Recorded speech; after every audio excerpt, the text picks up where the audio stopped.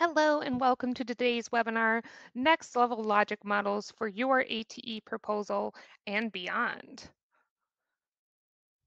Today's webinar is brought to you by EvaluATE, the evaluation resource hub for evaluation in the ATE program. The slides from this webinar are already on EvaluATE's website, along with several other resources. You may also download these resources by following the link on the right-hand side of your screen under Handout. The recording will also be available in a couple of days, and that will be emailed to you. I'm Emma Binder. I'll be the moderator for the webinar today. Lyssa Wilson-Becho will be the main presenter for this webinar.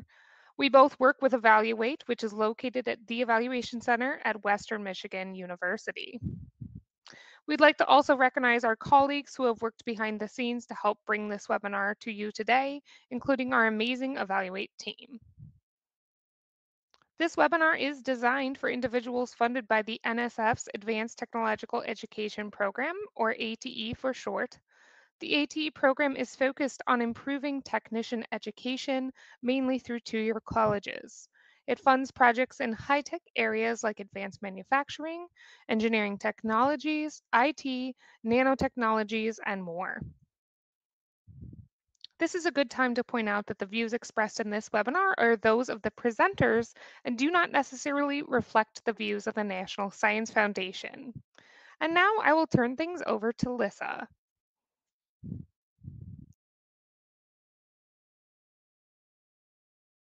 Becho, and I'm excited to spend the next hour with you talking about logic models. But before we begin, I have a few polls with you, so few polls for you so that we can learn a little bit more about who we have on our webinar today. So the first poll asks, what best describes your role, current or future? So you can answer this poll in the poll tab on the right side of your screen. If it doesn't automatically pop up for you, you can use the tabs at the top and choose the one that says polls. All right, so I see responses coming in. We have about 70% of people who we, we have on today who've responded already. It looks like we have around 40% evaluators, 19%, 20% grant specialists, and 17 and then 14% of PIs or project team members. That's great. So it looks like we have a really good mix of project folks, grant specialists, and evaluators with us today. Some of the strongest logic models are really developed by an interdisciplinary team. So I think that you will all find relevant information in today's webinar. So our second poll is going to ask you, how are you involved in ATE or NSF? Are you submitting a proposal to ATE? Maybe you're already funded by ATE, or maybe you're not involved in the ATE program or NSF at all. So I'm seeing some responses come in. There's a good number of us on today that are not um, involved in ATE or NSF, but I see some others who are looking at submitting a proposal. About 16% and 20% are already funded. Well, wonderful. So while some of the examples in our webinar today are specifically geared towards NSF ATE programs, the majority of this webinar will be helpful for those in other NSF programs or who are just working on projects funded by other organizations entirely. So thank you all for participating in these polls. We will have more polls and opportunities for interaction throughout today's webinar. We also have multiple question answer sessions throughout the next hour. So if at any point you have a question, make sure to type it in the chat box and Emma will organize them and hold them until our next question break. For those of you that are in the ATE program, I want to take a second to share an exciting new opportunity from EvaluATE. So the Outstanding ATE Evaluation Award will recognize and promote excellence in ATE evaluations. This is a really great way to celebrate the work of our colleagues and our teams. So we really invite PIs, project staffs, evaluators, really anyone in the ATE community to nominate an uh, ATE evaluation that they think is outstanding. This could be of a project, a center, or even a small new to ATE project. So if you're interested in learning more, um, more information can be found at our website. Nominations are due September 10th 2021, and we look forward to announcing the awards during the upcoming ATEPI conference. All right, so let's jump into today's, into today's content, logic models. So I want to take a few minutes to review the basics of a logic model. So first off, what do we mean when we say a logic model? Well, a logic model is a visual representation of a project's activities and intended outcomes. Think of logic models as tools for you to express your project's intentions and underlying assumptions. What are you planning on doing and what difference will that bring about? In many ways, a logic model can be a map to your project. It communicates what your project will do, how you're going to do it, and what you want to accomplish. So let's look at the basic components of a logic model. I call these basic because logic models can come in a lot of different shapes and sizes. So we'll talk about those additional elements in a second. Logic models typically consist of columns with some of the following labels. Activities, short-term outcomes, midterm outcomes, and long-term outcomes. So let's look at all of these a little bit closer. So activities are intended to capture the actions taken by your project to bring about the intended outcomes. This column answers the question, what did we do or what are we planning on doing? So for ATE projects, some examples might include developing a new curriculum, holding a summer transition program for high school students, or offering professional development to educators. Short-term outcomes are intended to capture change that result directly from those activities. So this column answers the question, what will the target audience know or be able to do because of the project? Midterm outcomes are the changes that result from those short-term outcomes. So this column answers the question, what are the next anticipated changes in the target audience because of the short-term outcomes that we just saw? So there is no set time frame that differentiates short-term from midterm outcomes. It really depends on the project time frame and how long you'd expect to wait to see the next logical outcome to appear. Because this timing differs across projects and logic models, it may be a good idea to label your logic model columns. So would you expect to see these outcomes two weeks after your project activity, two months, or maybe even two years? So for short-term and midterm outcomes, it can be really helpful to think about changes in knowledge, skills, ability, or behavior for your target audience. So who did your activities serve and what immediate change would you expect to see after their participation? Some examples for an ATE project might be the implementation of a new curriculum, increased knowledge in students, or change in skills for educators. Long-term outcomes are changes that result from those short and midterm outcomes. So these outcomes are related back to the initial need for the project. Long-term outcomes can be at the individual level, or they can capture the change that impacts systems, institutions, and communities resulting from those project outcomes. This column answers the question, what is the larger impact of the project? Long-term outcomes are not always feasible to measure or really capture through your evaluation. These impacts may be years away from the initial activity, or they just might be too difficult to accurately measure sometimes. Examples of long-term outcomes for ATE projects might include things like increased graduation rate for students, increased employment in STEM fields, or fulfilling workforce needs. So the activities column communicates what your project does, while the outcomes column communicates what changes you will bring about. What are the consequences or impacts of your project activities? Logic models bring to the surface the underlying assumptions or theories that connect a project activities to their intended impact. There's an if-then or causal relationship between the components of this model. If you do act this activity, then you will get this outcome. If you see this short-term outcome, then you will see this midterm outcome. So these logical links between the columns are, are what represent our thinking of how a project works, kind of like our internal project theory. So I briefly mentioned earlier that there's no single standard format for when it comes to logic models. The most important thing is that it clearly communicates your project's intentions and impacts. But let's look at some ways logic models might differ. So in this mock-up that you see here, you can see that they used individual boxes and arrows between the different columns. Arrows can be really helpful when you want to be specific about the logical or causal links between different elements. However, some choose just to list elements in a column without the use of arrows at all. Other column titles that we see frequently include things like inputs or outputs. So inputs capture the resources that are invested into a project.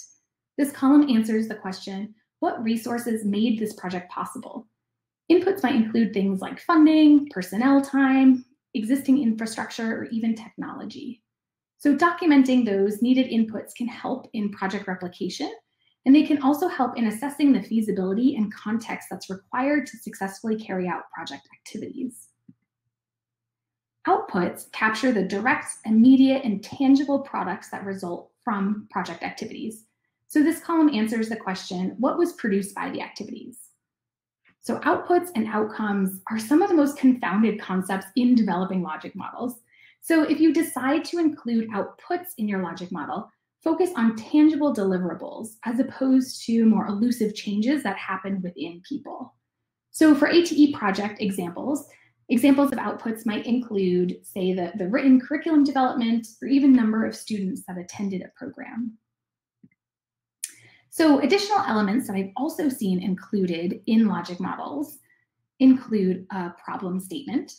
So including a problem statement gives an opportunity to clearly outline the problem or the need of project activities and what they intend to address. System influences or external factors, I've also seen it called.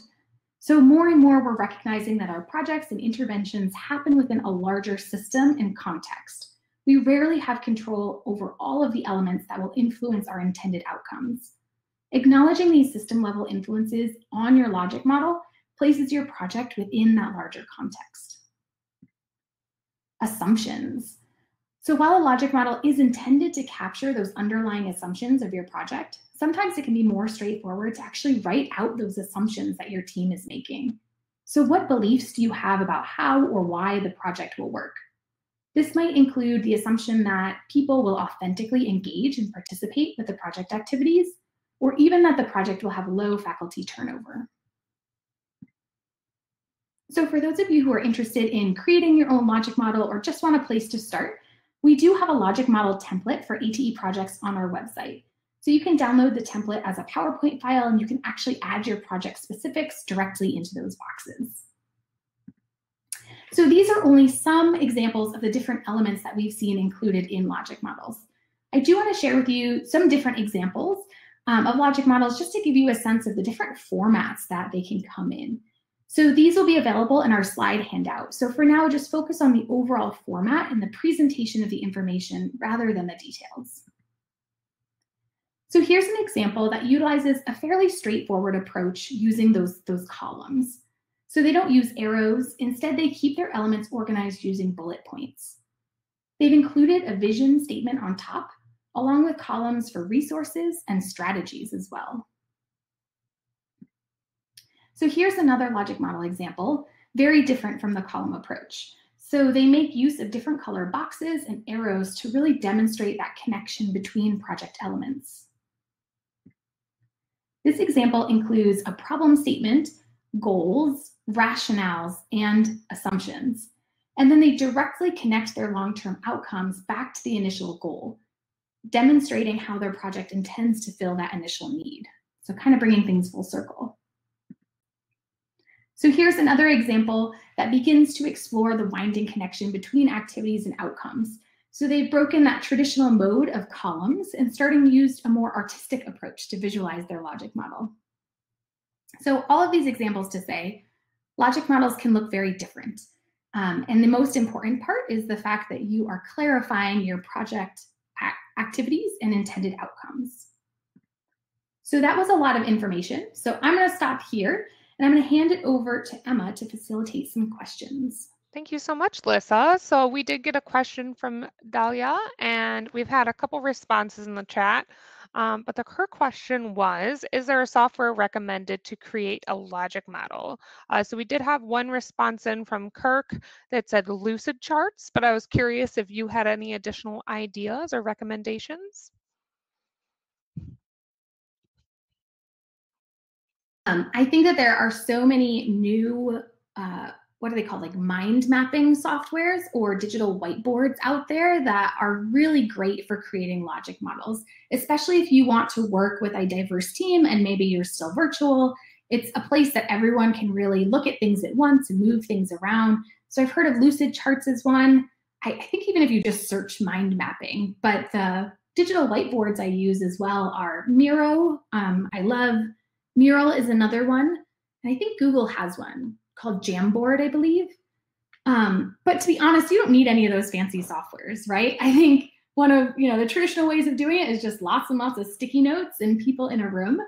Um, and then when it comes to actually capturing your logic model, I find that PowerPoint is a little bit easier just because you can have boxes and move them around.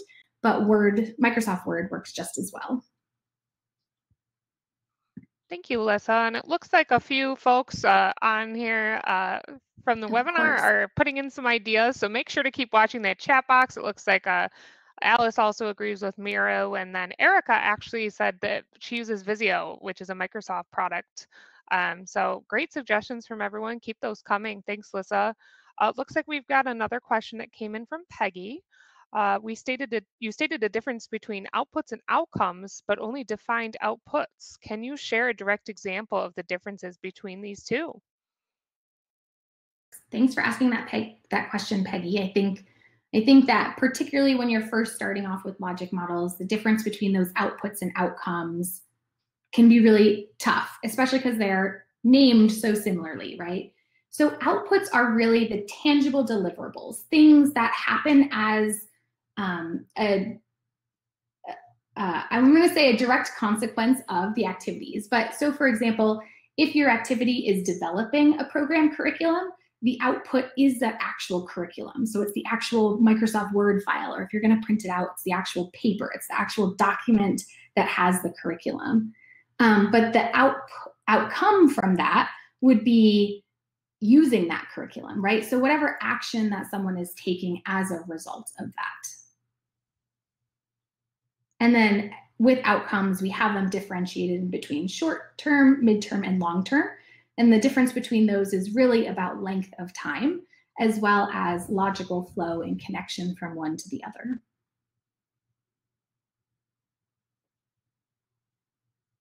Awesome. Thank you, Alyssa. And keep the questions coming in for Alyssa.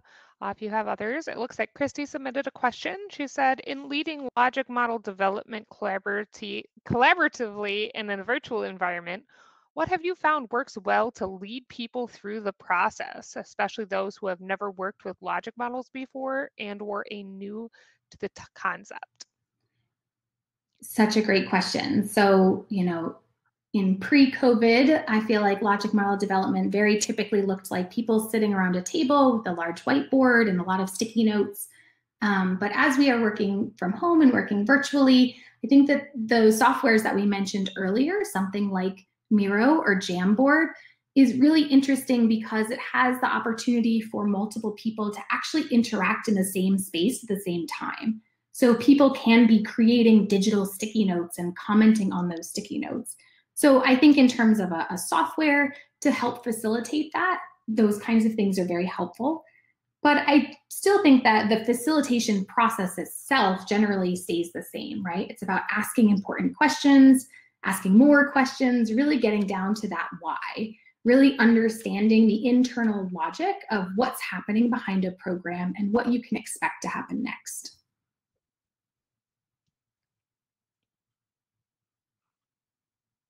All right, another question came in from Shannon. Do any of your formal or informal studies show a connection between organizations using logic models and having a strong buy-in satisfaction or ethical cultures? That is such an interesting question, Sharon. Shannon. I don't think that we have um, specific studies, at least not from EvaluATE or not that I'm aware of, that shows that connection directly. We have recently looked at um, a number of years of ATE proposals and the evaluation plans that are in there, and we have seen an increased use of logic models within ATE proposals. Um, I think that there is a general sense that there is stronger buy-in, there's more communication, there's a, a better shared understanding of the project's intention and impact, um, all things that we're going to continue to talk about this in the next hour. But I love the idea of looking at a really formal study that actually shows that and gives some harder evidence behind that.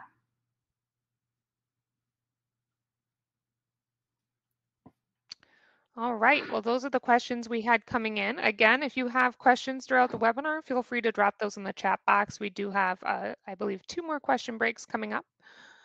So before we get moving uh, back to Lyssa, I do have a quick announcement. If you have any additional questions about logic models or any aspect of evaluation, we encourage you to connect with a coach today. Coaching services are free to all ATE members and those applying to ATE.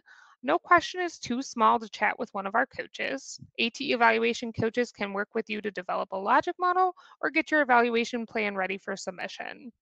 So with that, I will turn things over to Lyssa. Anna put the uh, URL for coaching services in our uh, chat box. So back to you, Lyssa, for the webinar. All right. So now that we are all on the same page with what a logic model is, let's talk about using logic models. So I've mentioned a few times that a logic model is a tool. In many ways, it's a Swiss Army knife of tools. A logic model can have multiple uses for different audiences. Logic models can help when you're planning project activities, help at the proposal writing stage. They can be used to structure and guide your evaluation planning, and even for project management and reflection. Before we dive into some of those uses, I do have a chat question for you. So for those of you who have some experience working with logic models before, do you start developing your logic model from the activities column or do you start from the outcomes column? So I want to hear from you. Use go ahead and use the chat box on the right side of your screen to respond. So I'm seeing a number of people say outcomes, some say activities. I see some saying both too, which is interesting. Sometimes both. Kirk says wherever the client is focused. Yes. Amanda says working backwards can work best. It depends. Alice, that's, I think, one of my favorite responses in evaluation, right? It's all context dependent. Depends on the ideas to start. Yeah. So, you know, I, I, completely agree with what a lot of you are saying that there really is no right or wrong response to this question. I have successfully created logic models from both directions, starting from the activities column and starting from the outcomes column. Um, and most times it's actually a bit of both, right? So developing a logic model can be a really iterative, process. And so you might work on some of the activities and then some of the outcomes, and then you might return to the activities. So I, have never seen a successful logic model created in a single draft before. So uh, normally there are multiple rounds with lots of different discussions. So thank you so much for answering that question. It's really interesting. So let's talk about using logic models for project planning. So if you're in this project planning phase, it might be helpful to use a logic model to frame your planning discussions in order to ensure that the proposed activities really match the intended outcomes. So here's an example where you might want to look at starting from the long-term outcomes column. So by starting here, you can build consensus and understanding about that big picture impact of your project. What's your end destination? This can then help align your team to a shared mission. Then you can ask your team about how these outcomes might be achieved and working backwards through the various outcomes until you arrive at the project activities. So using a logic model to frame those types of planning and brainstorming discussions, they can help you to ensure a logical connection between each piece of your project. It also allows you to really closely examine any logical gaps or missing activities that you might have. So project planning can involve a diverse team of players. A valuable benefit of developing a logic model is to really build a shared understanding across the entire team and promote consensus. So it can be helpful to have multiple perspectives from the project team, including the insights from those leading the project, as well as those implementing the project, as well as from your evaluator. So evaluators can bring a really critical lens to the project planning and logic model modeling process um, and so they really take into consideration that internal project logic, but also ensure that identified outcomes are measurable and that they're realistic. And finally, grant specialists have a lot of experience and skills in this area as well. So sometimes it can take someone external to your team to help clarify um, and look at those internal assumptions. So we were talking about before that generally these planning process involve lots and lots and lots of sticky notes. But especially in times of COVID, more and more folks are using digital whiteboards to brainstorm and develop logic models with virtual groups. So as I mentioned earlier, some of our favorite digital whiteboards to check out are Miro, Google Jamboard, or Mural. So just as logic models can help create consensus among your project team, a logic model can be a really great way to distill and communicate your project's intention to proposal reviewers. So for the National Science Foundation, nearly all programs are asked for a project description that's limited to about 15 pages. So those 15 pages may seem like a lot at first, but you'll quickly find yourself tight on space. So here are thumbnails of EvaluATE's last NSF proposal. And I know you can't read any of these pages in detail, but I just want to give you a sense of how dense a 15 page project description can feel.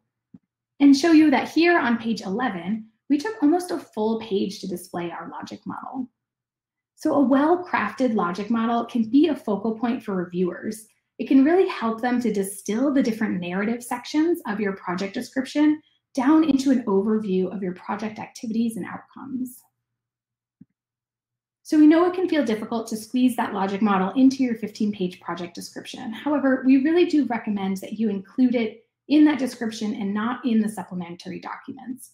So NSF reviewers are not required to read supplementary documents, and all of your work that you put into that logic model might go overlooked by reviewers. Your logic model might also help you structure the narrative in your project description. So you might decide to include a section titled Project Activities, and then you can include the primary activities from your logic model even as headings in that section. Your short-term and midterm outcomes, they might translate into goals or objectives for your project.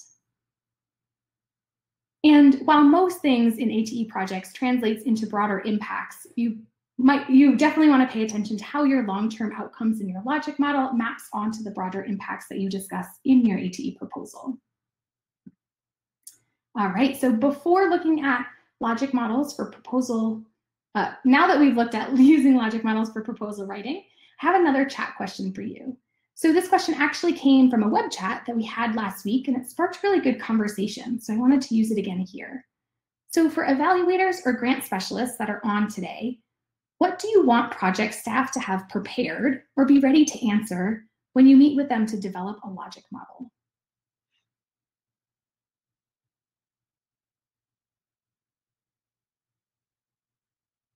So I'll give you a second to think about that question because I think it's I think it's a hard one, but I think it's a helpful one for, for PIs and project staffs. So Sam says goals and objectives. Benjamin says what they want to accomplish and how. I see a lot of goals. David says, what are your intended outcomes? Ooh, Susan, I like the why of the proposal, activities if known. That's such a great way of, of saying it, the why of the proposal. So why are you doing and what are you doing? I've seen a lot of people talk about activities. I know it seems pretty straightforward and simple to have a grasp of all the activities, but as an evaluator, I actually frequently find that I go into conversations with clients and they're actually not quite clear within themselves about what their activities are. So I think that that's a really helpful response as well. Kimberly says purpose of what they're doing and then need. Katie says audience. I think that's a great response too. So for, for PIs and project staff that are on board, I hope you take some time to read through these responses from evaluators and grant specialists. So if you're preparing for a meeting where you're going to talk about logic models. These are great. Thank you all for your insight and responses. You know, so many times I find that the chat box is one of the most valuable pieces of our webinar. So thank you.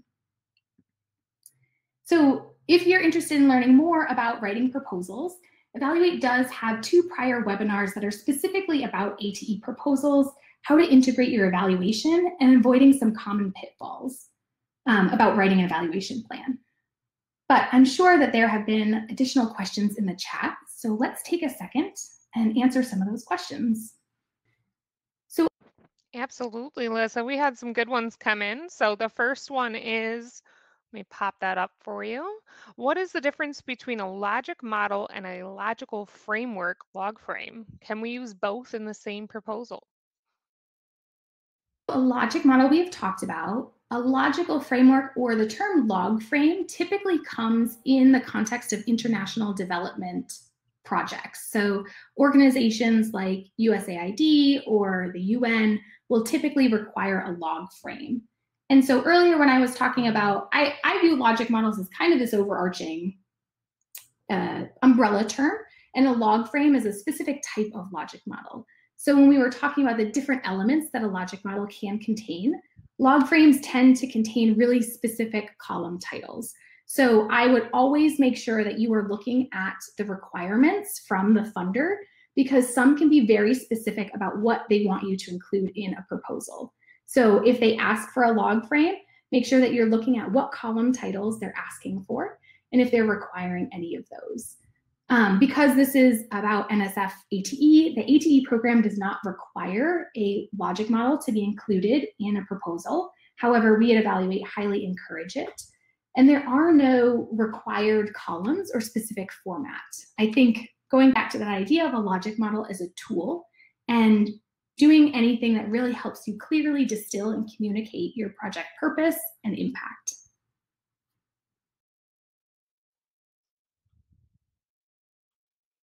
Thanks for the answer, Lyssa. Uh, so the next one is from Rebecca. She asked, how detailed should logic models get?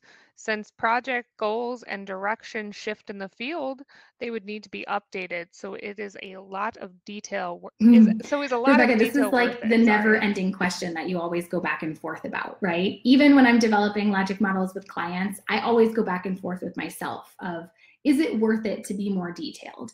And so I think really being clear about why you're making a logic model and how you intend to use it would be how I would go about responding to this. So, for example, if your primary use of the logic model was to include in a funding proposal, I would probably lean on the side of being a little less detailed, mainly because 15 pages is not a lot of space and you gotta squeeze your logic model to get in there.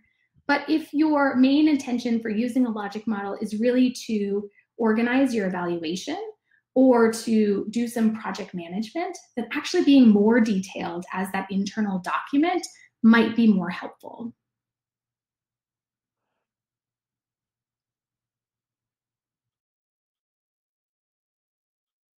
All right, here's one, Lyssa. You knew it was coming. Irina, uh, we asked, what is the difference between logic model and theory of thank you so much for asking this action? question. Emma was joking because I just yesterday said, "Oh, I didn't include this because someone will. I know someone will ask about it." Um, so the difference between a logic model and theory of change, um, you know, I think people use these terms differently. So I think anytime you are looking at or you're reading something or someone's referring to one or the other, ask them to define what they mean by those two things.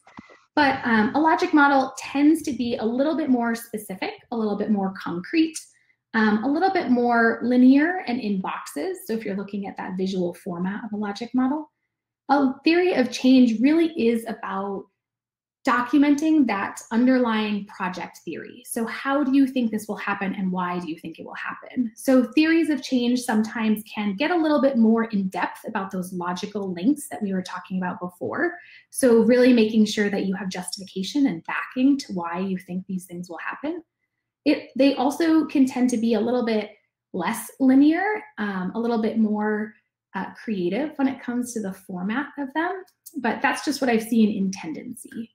And then a theory of action, I've heard the term used, but I have to say I do not have a specific definition for that. So again, I would say wherever you're seeing that term, theory of action used, make sure that you're going back and asking them exactly what they're asking for.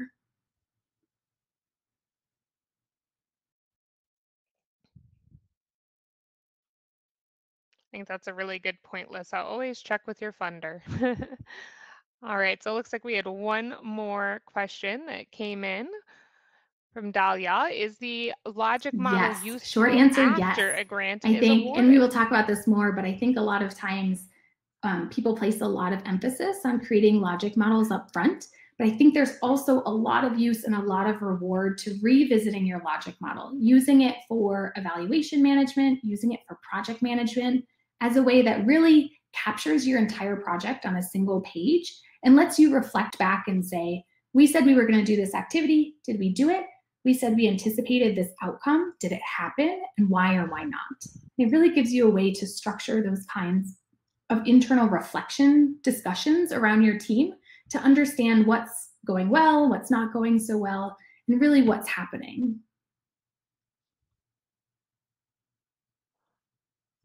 We do Yeah, right. And then we have one more question that came through from Benjamin. He asked, do you have data or a feel for how actually. so our EvaluATE just finished model? up a research study that looked at, I believe it was 10 years of ATE proposals. Um, and I'm actually going to ask Emma or Anna to dig up a link to those preliminary findings because I don't have all that information off the top of my head, but we are really excited to start releasing some information, some findings from that study. We have also submitted a full manuscript that really talks about the, the details of that and what that trend looks like across time. But um, in short, it is certainly increasing over time. However, um, I don't think that they it, that percent of ATE proposals is as high as at least I would like to see it. So I hope that more people really use logic models in their proposals.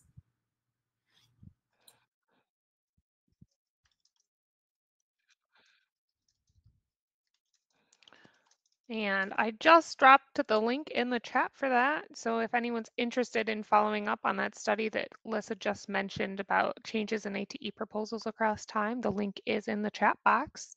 So I believe that is the end of our questions uh, for this round. We'll, we'll have one more round of questions for Lisa. so do make sure to keep putting your questions in the chat box. If you have additional questions about the webinar material, we encourage you to join us on our EvaluATE Slack community. The Slack community is a great place to meet new evaluation community members. So we encourage you to go out to our website and join, or if you have already joined and are a member, to come out and chat with us Wonderful. after this. All right, so, so let's look at how logic models can serve as section. an organizational tool for evaluation planning. So evaluation is required of all NSF ATE proposals, and it's generally just a good practice for all initiatives that want to critically examine their processes and impact. So given the different roles of our participants today, I just want to give a 30 second introduction to evaluation. So evaluation is the systematic determination of a project's quality and effectiveness. An evaluation can help document the what the project did and the project's contributions to the larger field. It can also be a really useful tool for project decision making and planning. It can help you get to know what aspects of the project are working well and for whom.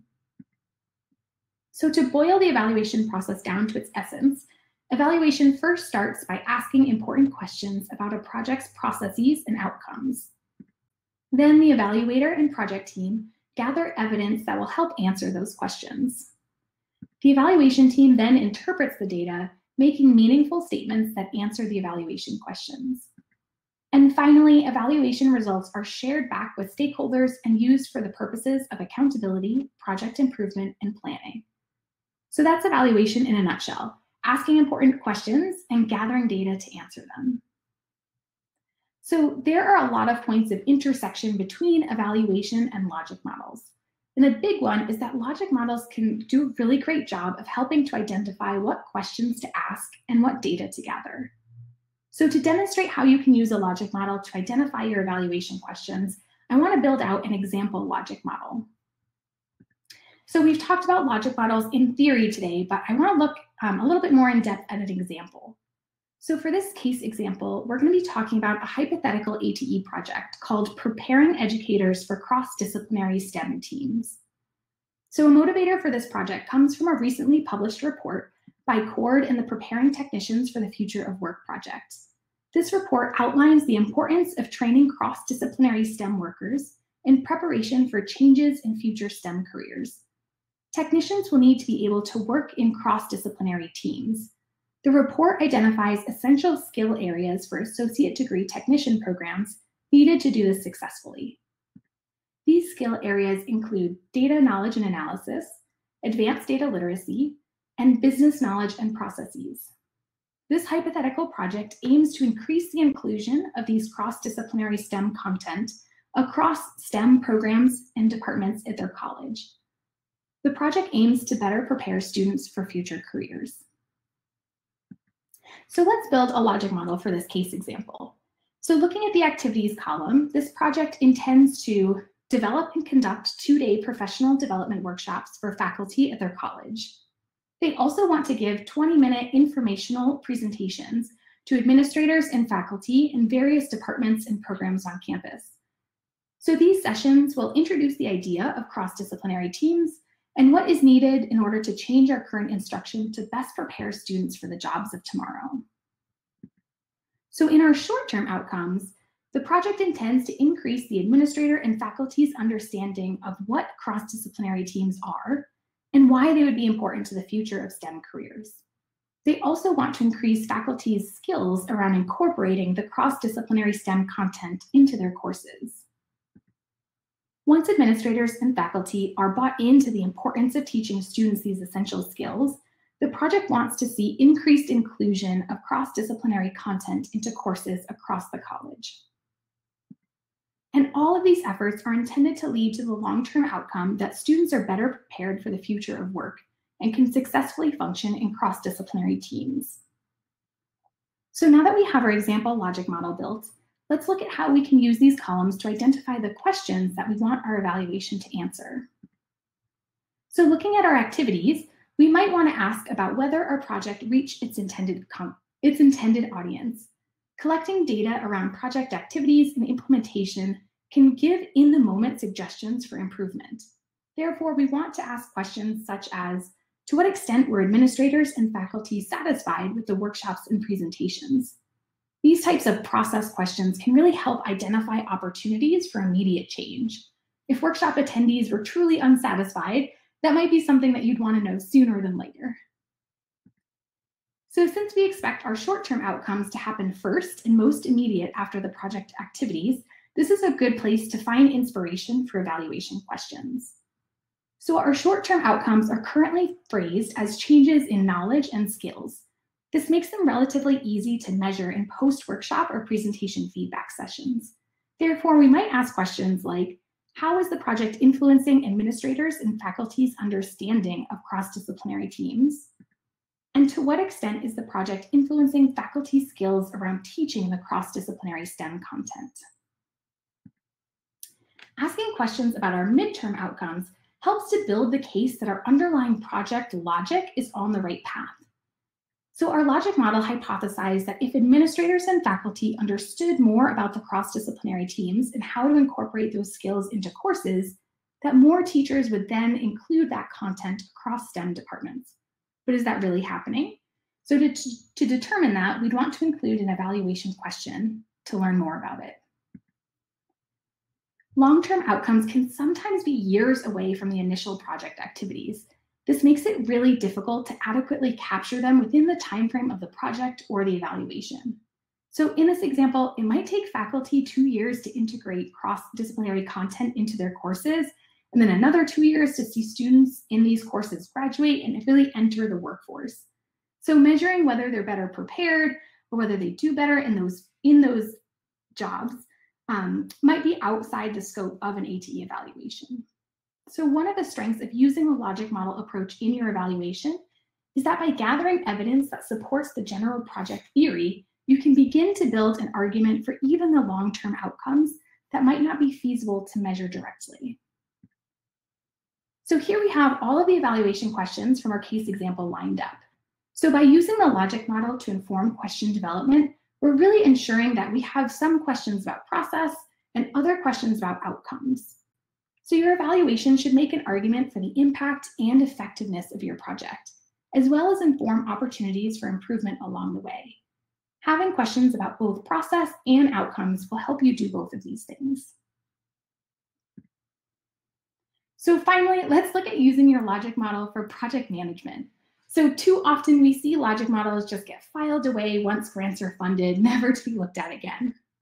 So just as logic models play a role prior to your grant being funded, there are multiple uses that they can have after you receive your funding.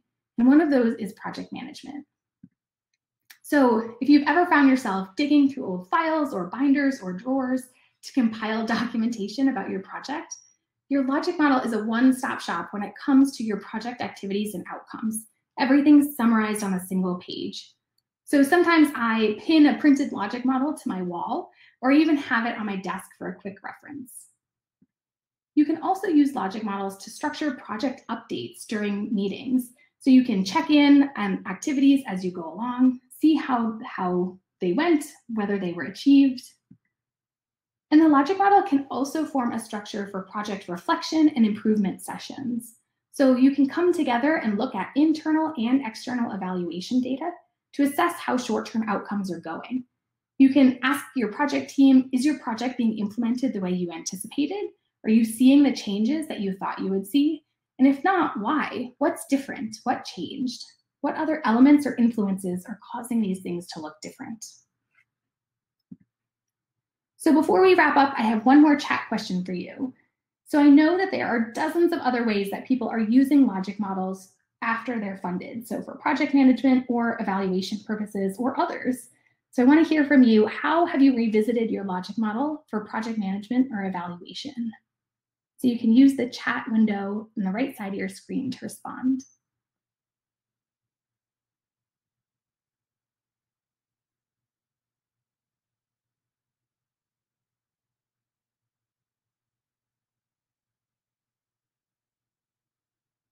So Susan says that she turned it into a timeline and then used it to track progress, checking items off as they were accomplished. I love that idea, Susan. Emmanuel, you said you've used it for both project management and evaluation. Can you give an example of how you've used it?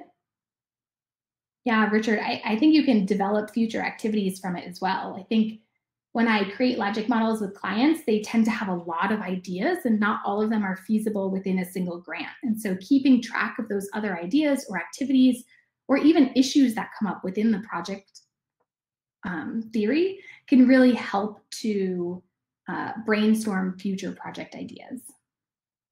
Yeah, just like Maureen said, building on the logic model as work progresses for future grants, definitely. Ours said to keep PIs and project staff from project creep and expanding beyond the original goals and activities. I think that is a great way to frame it.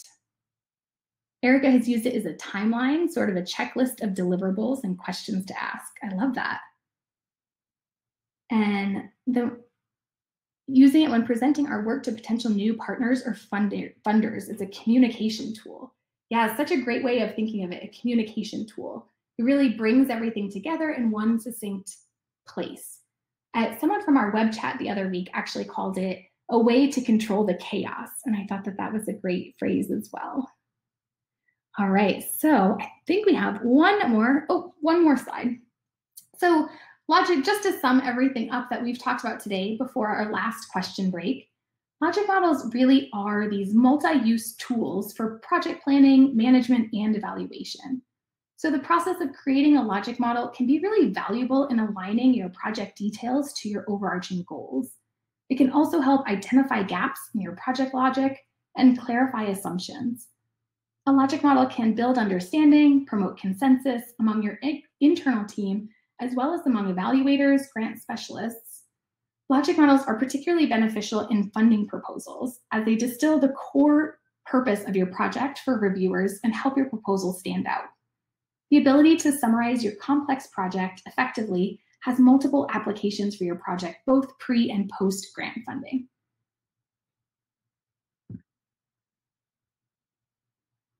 So I'm going to go ahead and hand it over to Emma to introduce our post-webinar survey right before our last question break. Interesting. I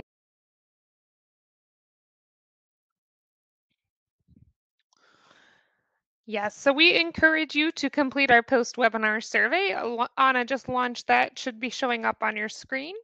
This survey helps to inform EvaluATE on how to continually improve our webinar series.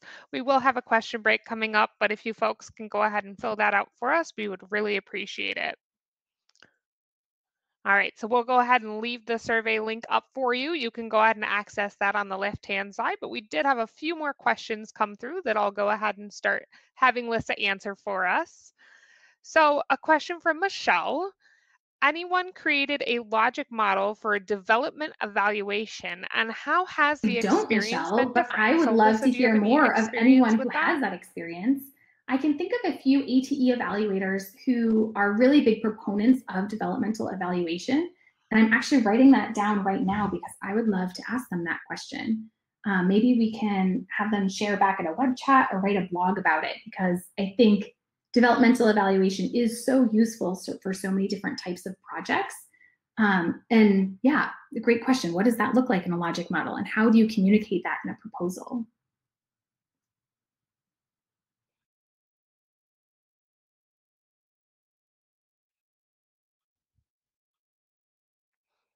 All right. So the next question, I believe, came in from Michelle again.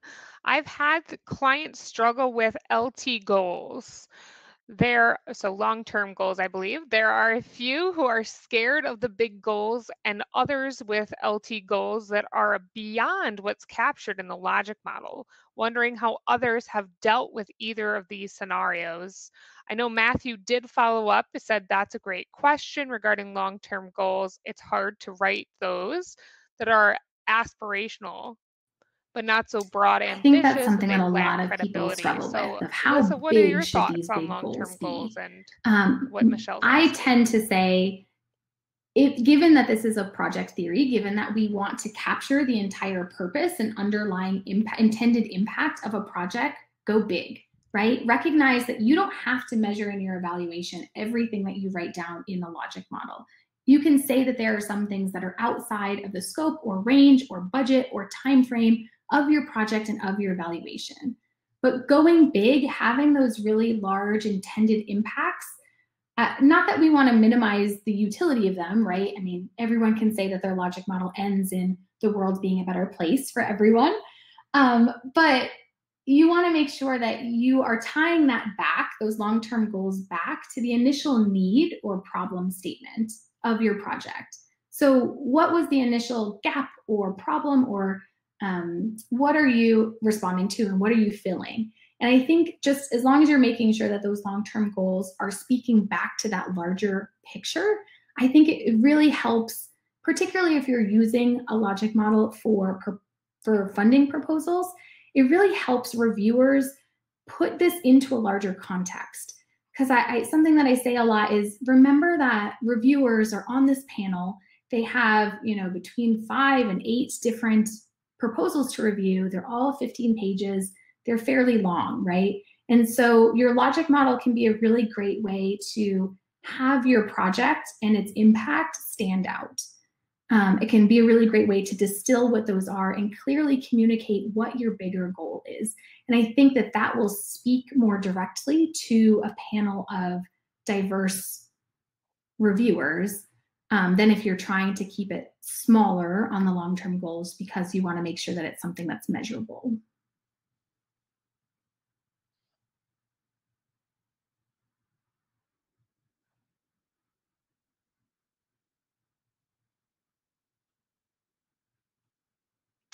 And then we have another question for you, Lyssa, in from Lacey. Is there a range of research questions we should try to stick to? I think Or that's a really good question, on Lacey. I do want to point out that I, there there is a difference between research questions and evaluation questions. So we talked about evaluation questions today. So I'm going to assume that that is what you were referring to is evaluation questions. Um, so there's no perfect number of evaluation questions to have within your evaluation plan. Um, I think if you're looking at 15 or 20, that's a little too many, right? You want to make sure that you have these broader um, evaluation questions that maybe have sub questions to them. Um, and then tips on how to prioritize them if you have multiple things that you want to measure. I'm going to ask Emma or Anna to look up um, the checklist on writing evaluation questions because I think that this resource can be really helpful in a differentiating the difference between research questions and evaluation questions, but also um, thinking about how you can make a really meaningful evaluation question. So, what does it mean to be evaluative? And making sure that it's measurable and realistic. I think sometimes we have all of these things that we would love to measure, but is that realistic within the evaluation, within the data that you have access to? So I, I hope that that was helpful, but I also recognize that I, you may be more interested in research questions. So please feel free to follow up with me and we can talk a lot more about that because I think that's could be a whole webinar in of itself.